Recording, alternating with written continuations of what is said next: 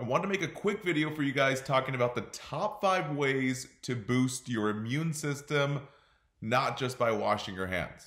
So, real quick, I want to talk about zinc, the powers of zinc and the studies being done to protect your family, as well as probiotics, vitamin C with bioflavonoids, and I'll get into what those are, as well as sleep and fasting, which is a little bit weird, but I'll break it down um, and all the new research coming out for that.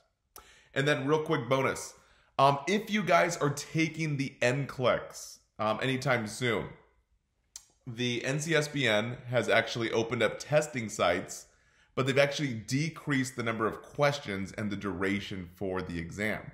So instead of being able to take up to six hours and do 265 questions, now they've whittled it down to only 130 questions maximum four hours. They're doing this to decrease the population size uh, of people taking the exam and so that they can stack two sessions in one day and get more students involved. So let me know what you guys think about that. And to help you uh, with the NCLEX, we're starting a new quarantine challenge. You can get free access to all of our 1500 NCLEX questions in our new app. And we have rewards rolling out weekly if you take the NCLEX challenge, which is completely free to do. So we're talking free seven day access for you guys to get prepared. Take our NCLEX challenge and you can get free stuff. And we have new rewards weekly. All right, so you simply go to simplenursing.com forward slash free. The link is in the bio. Simply press the Get Started tab. Now, let me walk you through this real quick. It's going to ask for a coupon code. You just click next. You fill out your information. We definitely need your email address. And then very last, it's just going to say $0 so you can sign up for free for 7 days. Now, once you place the order, you're going to get two emails. One that looks like this, just says thank you for the order, obviously 0 bucks. And then the second one, this one comes in about four to five minutes. Guys, check your spam. What we're looking for here is the username and password. So you simply go download the Simple Nursing app in the App Store for Android or iPhone. And then your username and password, you can simply log in. Now, if you have any questions, guys, please email us, please call us, let us know if you need help. Now, the second big news for nurses who obviously don't need to take their NCLEX anymore. If you are an emergency room nurse, I'm talking to you, which I used to be. I know that your hospital probably ran out or is running out of N95 masks. So I was driving and I heard over the radio that Harbor Freight and Tool is giving free N95 masks, and I'm reading from their website here uh, to emergency rooms. Not just nurses, but anyone in the emergency room or acute care. It has to be 24 hour emergency rooms. So the radio announcement said that you can just fill out this form and get a free N95. I'm not sure if it's a pellet or if it's a shipment, don't really know. But I know that it's for free and it's for emergency room nurses. So if you're an emergency room nurse, if you know an emergency room nurse, um, I don't know if it's for urgent cares, and I don't think it's for ICU nurses, but I'm to leave the link and down below in the description.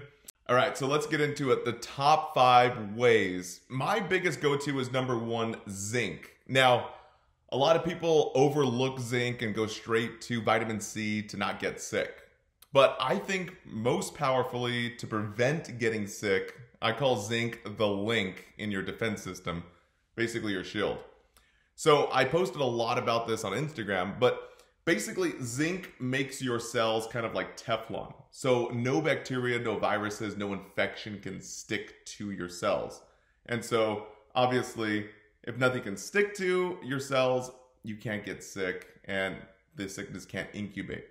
Now, there's no direct studies directly on coronavirus, but the concept's true with the flu as well as most common sicknesses. So, obviously, the coronaviruses, there's COVID 19 is so new, so there's not going to be a lot of uh, research. But I did some research and some digging because a lot of people wanted evidence based, and I found some things and some articles from the National Institute of Health that talk about using zinc and um, basically zinc lozenges as well as zinc nasal swabs to decrease the common cold. Um, and there was also some stuff about the doses um, for adults as well as pediatrics.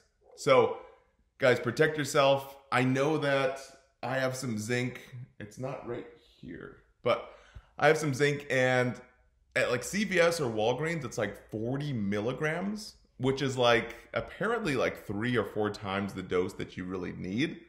Um, to overdose on zinc, which you probably need to be taking at least 500 to 1500 milligrams, is what I researched. That's basically 10 to 30 pills of zinc would end up in zinc toxicity. So, the average dose that they recommended was um, anywhere between 9 to 11 milligrams for an adult, and for pediatrics, for your kids to keep them safe, um, under 8 years old was 5 milligrams, and over 8 was around 8 to 10 milligrams. So, again, I'll post the link so you guys can get all the information. Now, if you don't like taking vitamins, they say that the food that had the highest amount of zinc was oysters for some odd reason that was cooked, um, breaded, or fried. The second next best was beef. They call it beef chuck roast. And then the third was crab. But oysters, apparently, it gave you like 74 milligrams of zinc. So there you go. Oh, and then the very last thing, guys. I recommend, I've, I've been doing this myself for years. Every time I go on a plane, I take zinc just to protect myself. Um, just because, especially in a plane, everyone breathes the same air and all that air is recirculating. That's why I never turn the air vents on because all that air is being pushed in your face. So um, always make sure to eat before you take zinc or else you're going to throw up. I've done that twice and I never made the mistake again. So make sure you eat because, um, yeah, it's pretty bad. And then the second thing without zinc is um, make sure you take it every single day, guys. So if you get like a 40 to 50 milligram pill, you can cut it in half. You can take the whole thing. It's not really going to do anything. Just don't obviously take 10 pills in one day. But um, consistency is key every single day. If you miss a day, uh, it's not going to be good. You're basically leaving gaps in your armor there. Okay. Tip number two is probiotics. Now, a lot of people don't know this, but um, probiotics inside of your gut, those are the friendly bacteria, right? Um, the antibiotics that kill off ba- uh, the bad bacteria and bad infections are basically antibiotics. They're the antibacteria that are inside your gut. So that's why they always say take good probiotics like Yakult or the more powerful ones that come in pill form at like Whole Foods or Trader Joe's or your local grocery store. The reason why I'm saying to take probiotics is because the gut holds the majority of your immune system. And a lot of people don't know that. So, a lot of people get sick because they'll have diarrhea or they'll have something, let's just say like a stomach bug, right? Um, and it causes diarrhea. And basically, all of your probiotics are pretty much in the toilet from the body into the potty, right? So, all your defense systems are down, leaving you open to um, basically get an infection. So, Dr. Rhonda Patrick and even the CDC online both say that probiotics are good, especially to keep yourself protected from colds as well as upper respiratory tract infections, which we obviously know that the coronavirus uh, attacks the respiratory tract. So, it says that it can lower the duration of the illness as well as um, the duration of the cold. It says that the evidence is very, very low, but apparently Dr. Rhonda Patrick, um, she swears by it, and I pretty much trust her a lot. Okay, number three, vitamin C with bioflavonoids. Now, a lot of people are like, what the heck are bioflavonoids, right? So, bioflavonoids are the thing inside of a whole food supplement. So, they're basically the, the phytonutrients around the vitamin. So, if you can think of vitamin C as like a diamond on top of a ring, really the, the thing holding the prongs, we can call it, holding that diamond up are the bioflavonoids. If you take the bioflavonoids out and just have the vitamin C, it's not going to break down the body. So that's why when people take the one a days or people take the Vita gummies without the bioflavonoids, the body just poops it out. You're just having like expensive poop. You're not really absorbing anything. So, guys, that's why if you're going to buy vitamin C, look on the label and see if it says with bioflavonoids. And if you can even turn it around and see if inside one of the active ingredients is rose hips. So I'm going to leave a link to the study to show evidence based. But guys, this is just common knowledge with a lot of like personal trainers as well as nutritionists, which I used to be before I got into nursing. So I used to swear by this big time. All right. Number four, sleep. Now, you guys are probably laughing at this, right? Because if you're a nursing student, you're like, sleep? What the heck is sleep? Even nurses, right?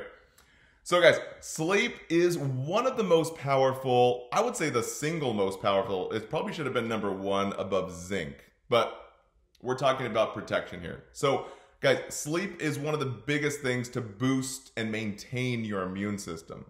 Studies have shown that even if you're getting less than three to four hours of sleep, like per night, on the third day of doing something like that, you actually start showing signs and symptoms of mental illness. Now, doesn't mean you have mental illness, but you're showing signs and symptoms that relate to like mental illness, like depression, as well as even some delirium. So, guys, sleep, you should be getting at least, they say, at least seven and a half hours of sleep per night. Now, sometimes we do six, sometimes you do, I've done a, actually all the way up to 12, which is really awesome. But the therapeutic range is anywhere between 7.5 to 9 hours of sleep per night. And the other thing about zinc, I'm sorry, about sleep, is that Dr. Oz says that every hour before midnight um, counts as double in terms of quality REM sleep. So, for example, if you go to bed at 9 o'clock and you basically have three hours before midnight, you're kind of getting double the amount of time of REM sleep if you went to bed at midnight or at one o'clock. Now, I'm not exactly sure about the validity of this. I just saw Dr. Oz commenting about that. Okay, last things last, probably the weirdest thing and most strange that you probably never heard of. Number five is the fasting one. Again, it's really weird, but listen real close. So, if you are sick and everyone's getting scared about getting the coronavirus and everyone's like, oh man, do I have it? Is it allergies? Is it, I don't know what it is. So before you freak yourself out, just listen up. I heard about um, fasting every other day. Now, I already do intermittent fasting. I basically skip breakfast. I've done um, three day fasts like once a month. I did it for six months last year. But this is really different. So there's a theory out there that says if you get sick or start coming on to the signs and symptoms of having phlegm or productive cough or like that green mucus, and you can just feel like you're getting sick. So within the first 48 hours, they recommend that you eat one meal every other day for three days. So basically, you're having like one meal, let's say it's Monday, you skip a meal. I'm sorry, let me start over. You have one meal on Monday. Your next meal would be on Wednesday. And then the last meal would be on Friday. So you're skipping every other day and having one meal per day. Now, I'm probably totally butchering that, but that's what I did. And I was following the plant paradox as well as Dr. Rhonda Patrick, who talks a lot about uh, the benefits of fasting as well as sauna therapy. But specifically in the plant paradox, they talk about having one meal every other day at the first onset of any type of symptoms, and especially the coronavirus or not. So again, I personally did it last year. I felt like crap, to be honest, for the first 72 hours. But boom, like it was gone in the, like the third day. I don't know how to explain it. Um, I think in the plant paradox, the guy was talking about the patho of it all was that you're kind of starving the nutrients that the infection or the illness needs to survive on the host. I don't know the path of it yet. I can research that for you guys. But if you guys know, please leave it in the comments below.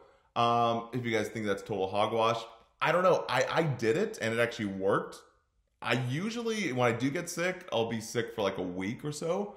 But I'm, I swear by it, like the third or fourth day, it was gone for me. Now, I don't know if it's going to happen with the coronavirus. I'm just saying that that's just a way you can utilize in your tool belt of protecting yourself.